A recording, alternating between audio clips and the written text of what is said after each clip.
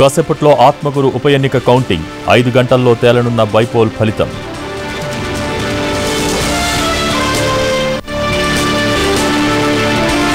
టీచర్ల ఆస్తులపై విద్యాశాఖ ఉత్తర్వులు నిలుపుదల. విమర్శలు రావడంతో వెనక్కి తగ్గిన తెలంగాణ ప్రభుత్వం. అమ్మకానికి ఏపీ రాజధాని భూములు ఆరు వందల ఎకరాల విక్రయానికి ప్రణాళిక.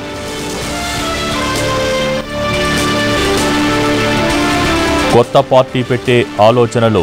శివసేన రెబల్స్ బాల్ ఠాక్రే పేరును వాడుకునే అర్హత లేదన్న ఉద్ధవ్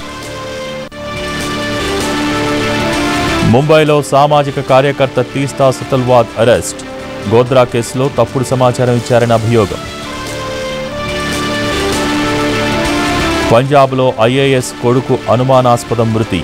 పోలీసులే చంపేశారంటున్న కుటుంబ సభ్యులు. ఇవాళ ఐర్లాండ్తో టీమిండియా తొలి టీ ట్వంటీ మ్యాచ్. యువ ఆటగాళ్ళతో బరిలోకి దిగుతున్న భారత్